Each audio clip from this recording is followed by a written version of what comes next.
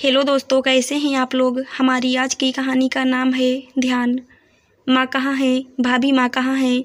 पुष्पा हाँपती हुई घर में घुसी और अपनी भाभी रश्मि से पूछा, क्या हुआ दीदी? सब ठीक तो है? माँ अंदर हैं?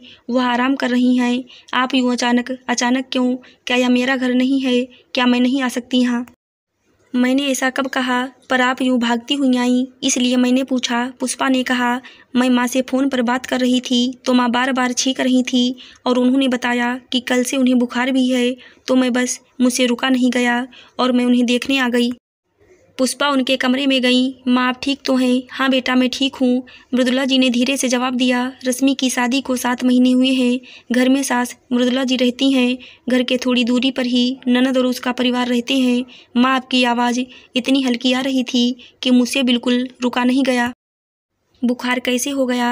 आप अपना ध्यान क्यों नहीं रखती? और भाभी माँ का गला खराब, बुखार कैसे हो गया? क्या खाया था? कल रात को दीदी मैंने तो कल बस दाल बनाई थी, और तो माँ ने ऐसा कुछ नहीं खाया, फिर माँ को बुखार कैसे हो गया?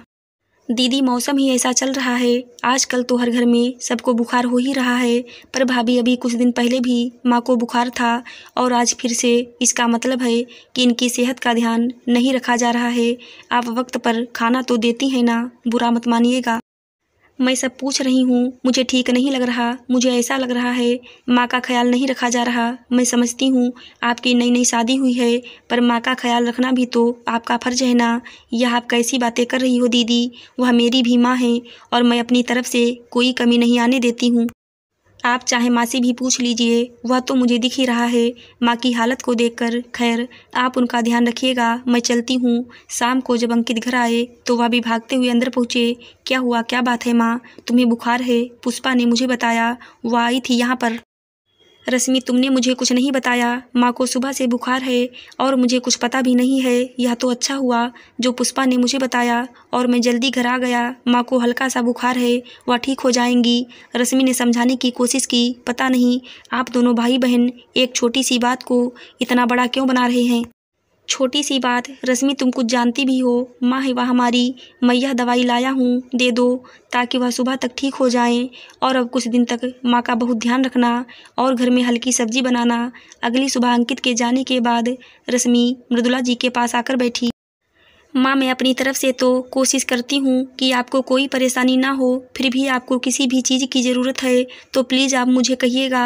और किसी को नहीं, कुछ दिन बीते और एक दिन सुबह मृदुला जी ने अपनी बहू रश्मि से कहा, रश्मि, मैं ज़रा तेरी मौसी के यहाँ होकर आती हूँ। उनकी कुछ दिन से तबीयत खराब है। पर माँ, प्लीज़ आप अकेले मत जाइए, वरना अंकित बहुत गुस्सा करेंगे। आप तो जानती हैं उन्हें। अरे तू क्यों परेशान हो रही है? मैं उसके आने से पहले आ जाऊँगी। पर माँ, कुछ नहीं होता मुझे। आती हूँ मैं अभी। तू परेशान मत हो।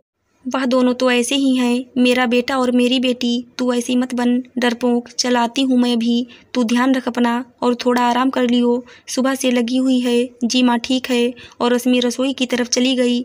अभी बस पानी के लिए गिलास भरा ही था कि अचानक ज़ोर से आवाज़ हुई। उसके पैरों के नीचे से तो जैसे ज़मीन निकल गई, भागती हुई गई तो देखा मृदुला जी सीढ़ियों से फिसल गई थी। यह क्या हो गया माँ? भागी और उन्हें जल्दी से उठाया। वह दर्द से करा रही थी। पड़ोसियों की मदद से उन्हें अस्पताल ले गई। वहाँ जाकर उन्हें एडमिट कराया और डर रही थी कि अंकित को कैसे फ़ोन करूँ। वह तो बिना कुछ सुने ही मुझे डांटना शुरू कर देंगे। इसलिए कुछ देर इंतज़ार करना ही उसे ठीक लगा, लेकिन कुछ ही देर में पुष्पा वहाँ पहुँच गई। उन्हें तो पता नहीं कहाँ से हर चीज़ की खबर लग जाती थी। शायद घर के पास में जो रहती थी, इसलिए पड़ोसियों ने खबर दे दी होगी।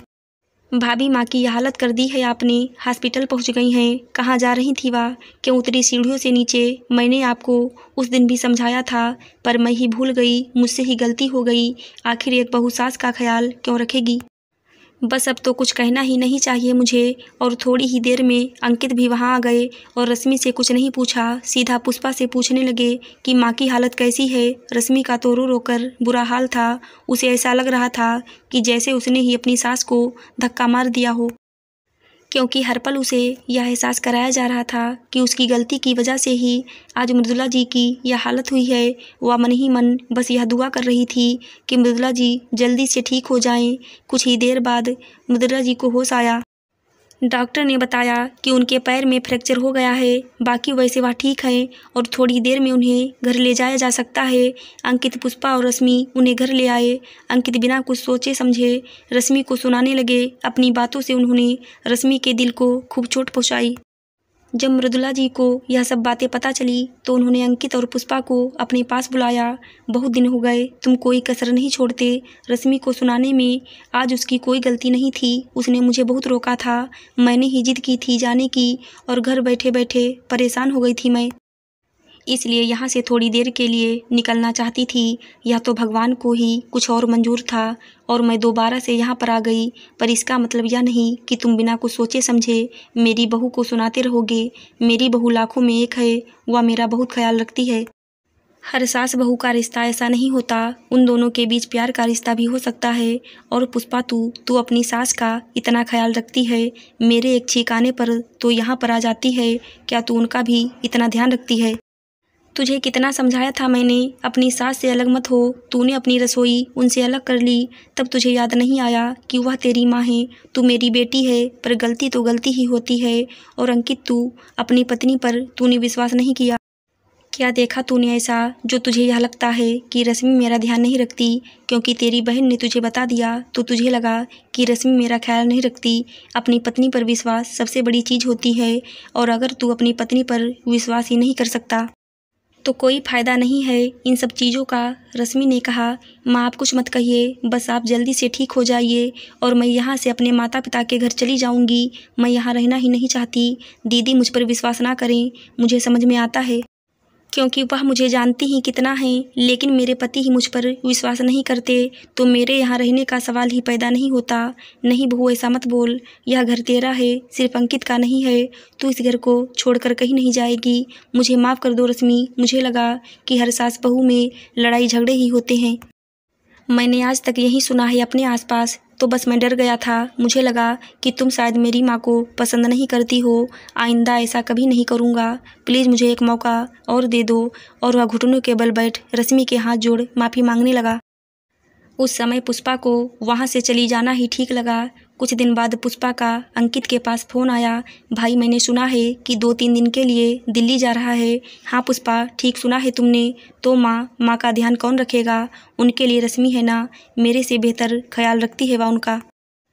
और तू अपने घर पर ध्यान दे। हमारे घर के बारे में ज़्यादा मत सोचकर। यहाँ के बारे में ज़्यादा सोचेगी तो अपने घर में कभी खुश नहीं रह पाएगी। और पुष्पा ने फ़ोन काट दिया। आशा करती हूँ दोस्तों आपको हमारी कहानी ज़रूर अच्छी लगी होगी। कहानी अच्छी लगी हो तो चैनल को लाइक, सब्सक्राइब, शेयर ज़रूर करें। धन्यवाद।